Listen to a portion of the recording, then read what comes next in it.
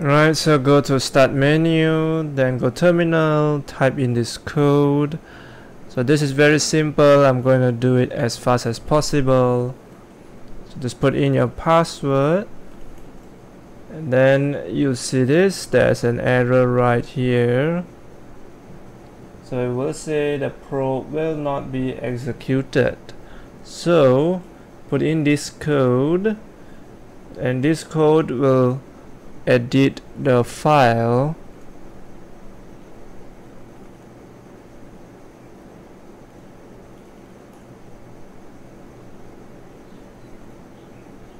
Right so now you just use your down keyboard button. Press it all the way until this side. Remember to press enter and then follow what I type in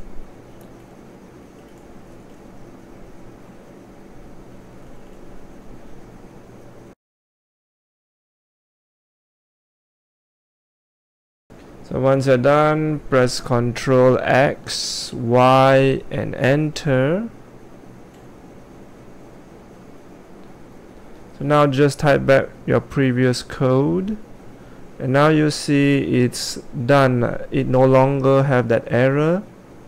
Please like, subscribe and comment below is my previous videos, to the center is my other videos and to the side of it is my playlist for different topics in different playlists. You can check that out for my previous and future videos that is to come. So thank you all for watching, Famous Cyber signing out.